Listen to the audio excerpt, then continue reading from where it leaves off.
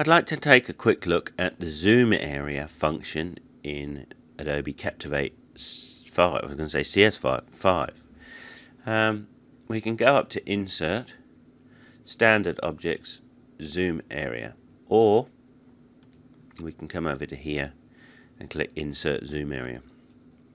When we click Insert Zoom Area, you can see it consists of two square boxes. One we've got the zoom destination and this one we've got the zoom source. Now the zoom destination I'm going to make slightly bigger so I'm going to hold down the shift key just make it a bit bigger and this zoom source you can see as we move it around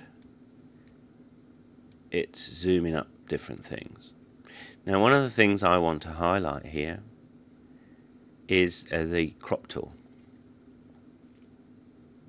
So I'm going to hold down shift again so I don't distort. And I'm going to push that over and center it around the crop tool.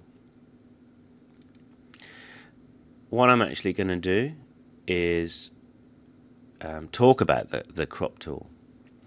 And I want to start off with a little bit of dialogue and then I want to zoom in and show this crop tool and then come back out again. Now I can put the zoom there to be honest with you.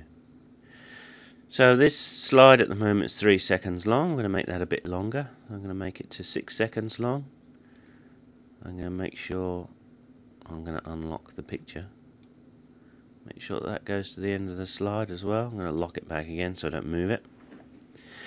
And the zoom area, I want it to come in after one and a half seconds and go out at four and a half. So let's have a quick preview here before we um, do a publish preview. I'm going to press play and that plops in. Now also this one here, the zoom area and the actual zoomed up place has got a stroke around it. So you could say, give it a colour, etc, etc. This one here, this one's got a stroke. We'll give that one yellow. And now let's press F4 to preview. Press F4 to preview. Come on, preview. There we go. That's how zoom area works in Captivate 5.